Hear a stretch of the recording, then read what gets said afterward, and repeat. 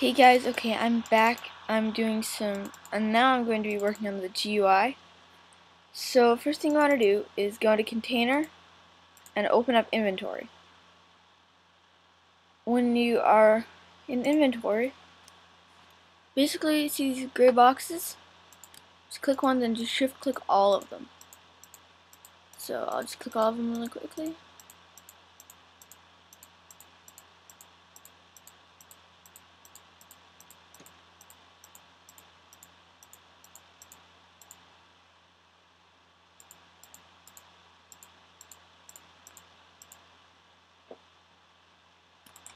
Then go into edit and then select cut.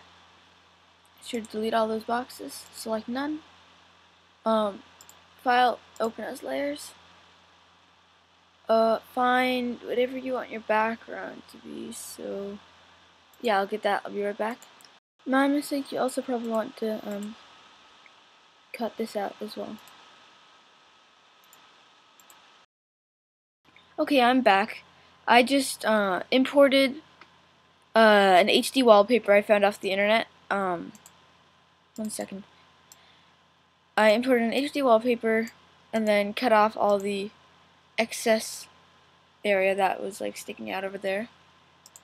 So that's done for now. I'm Just gonna export that. Inventory. Replace it. Export. And okay, we can close that now. Next thing you want to do is open it uh, go back to your GUI folder uh, right in here. I think it's it's either icons or widgets you want to look at. Um, oh, icons is good to look at anyway.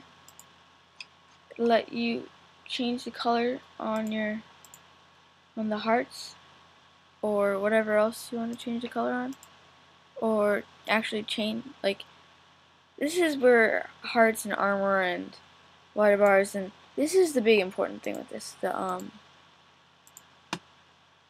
god I cannot speak. Crosshair. Yeah so what should the crosshair be? Uh, I'll be right back. Okay I finished remaking the crosshair and I added a more raggedy feeling to the um, half heart. Let's export this. Um, set it into the texture pack as well. And um, with the new inventory I'll show you that as well how it looks in game so uh, I need survival inventory. Yeah that is the um, crosshair. If you can see it in the center right there and then, um, yeah, I'm gonna have to switch to surround mode for this. You can see the hearts are blue. Look at that inventory. Oh, that's so good. That's that's actually really nice. Um, yeah. Um, kind of adds niceness. Either rate, um, this is probably, oh no, no, no, I have to do widgets still.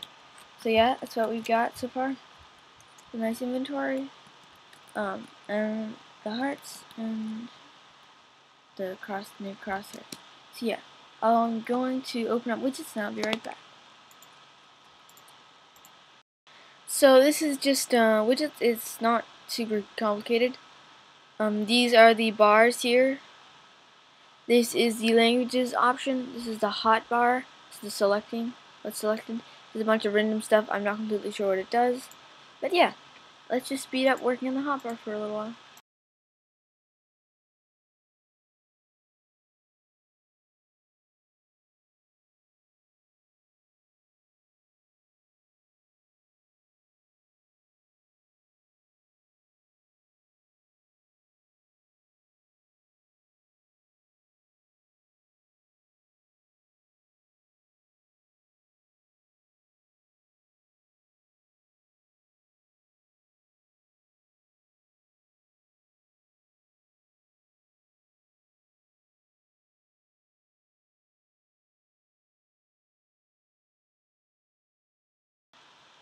Okay, that was pretty simple. I pasted a blue-white gradient here in the um, button and like a rainbow gradient in the selected button. I changed the round of the square around the item you're using to a green arrow and I put numbers in the inventory slots. Let's export this and see how it looks in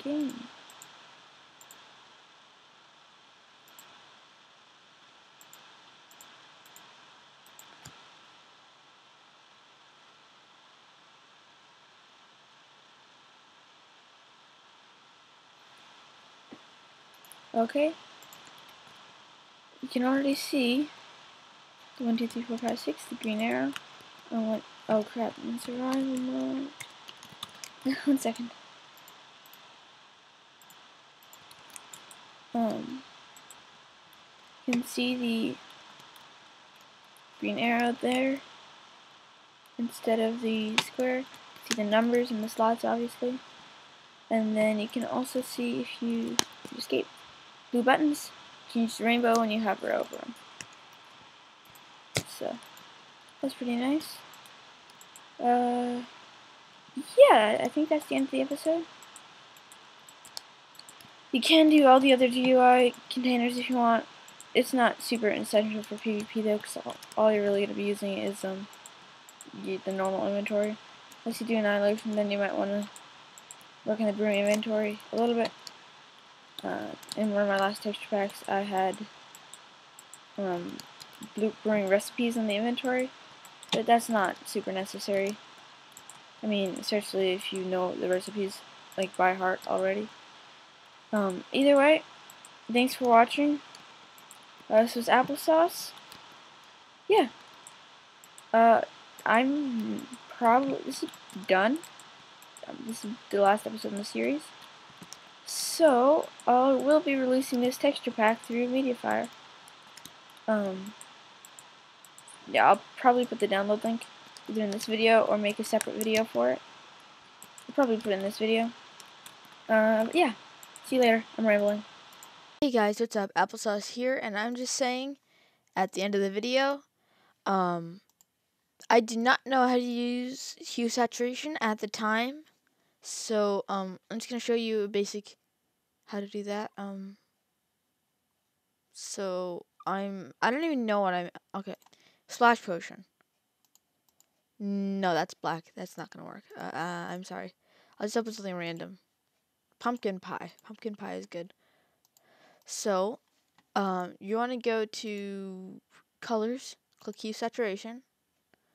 Right here, you can select whatever color you want to change or master, because I'm selecting master. And voila, the pumpkin will change color. So you can also like make it brighter or darker. Or make it super saturated or like gray scale. Or like depressed little depressed blue pumpkin pie. Um but yeah that's just a quick tutorial on this another thing i want to say is this these recordings are about two or three months old so i did not have my good uh, new awesome computer and I also did not have my new awesome headset, so that's why the um, quality is probably not as good. And then, um, like, everything seems bigger than it usually is. But yeah. Thanks for watching the video. See you guys later.